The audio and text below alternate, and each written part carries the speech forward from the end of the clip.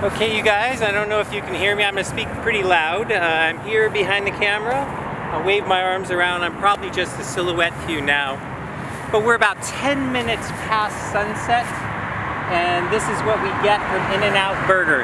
So we're facing towards the, I'm going to come next to you since there's a lot of cars driving by. Uh, we're facing into the sunset, so I put the sunset directly behind the In-N-Out. Unfortunately, they didn't turn the neon. There's red neon lights that are should be on the side that are on the one in Santa Rosa. But this is a much prettier view of the In-N-Out, I think, than the one in Santa Rosa. Santa Rosa has a big tree blocked. So I'm about 10 minutes past sunset, and let's have a look uh, at what this is going to look like uh, right now.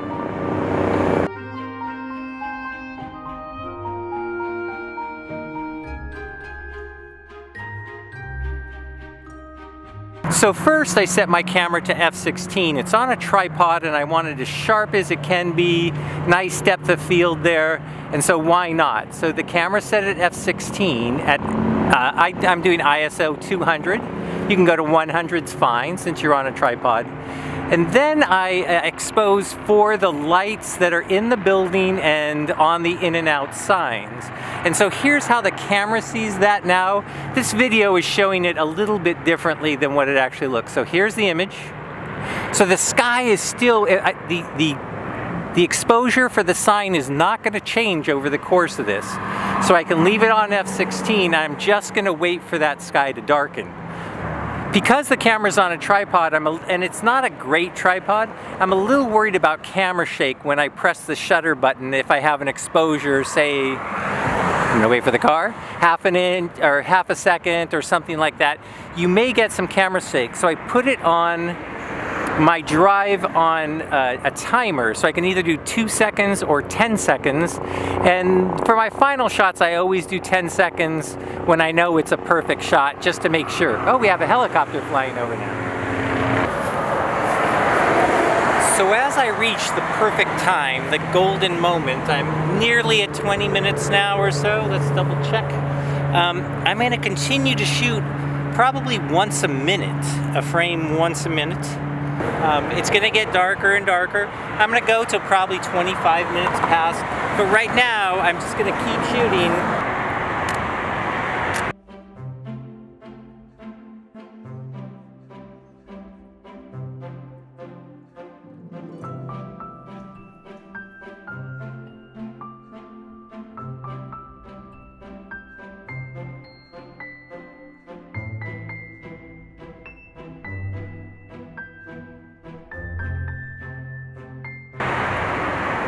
So in between each frame, I'm checking the back and checking my exposure.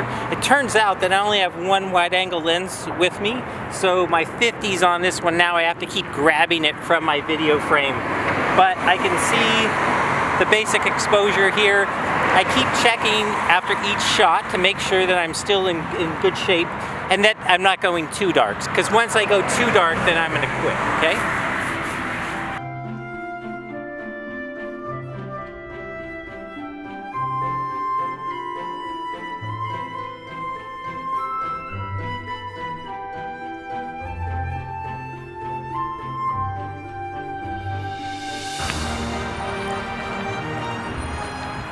All right, so uh, I drove back to my house and this is the In-N-Out Burger and I realized, well, you don't get the sign right, but the cars would make a cool pattern uh, as they move, but they're sitting around a lot. But you see it's a lot more neon than the other one, but the angle of the sign is wrong and everything. And if I look over here, these are what gas stations look like, right? So they're completely lit. Um, so you could have used one of these, it would have been fine. Or actually, as I drove back, I passed Auto Row in Santa Rosa, and boy, that place is really lit up. So it's so bright, your time would probably be maybe 15 minutes past sunset would be the equal because it's so bright out there. So you'd have to get there a little bit earlier if you did an Auto row shoot.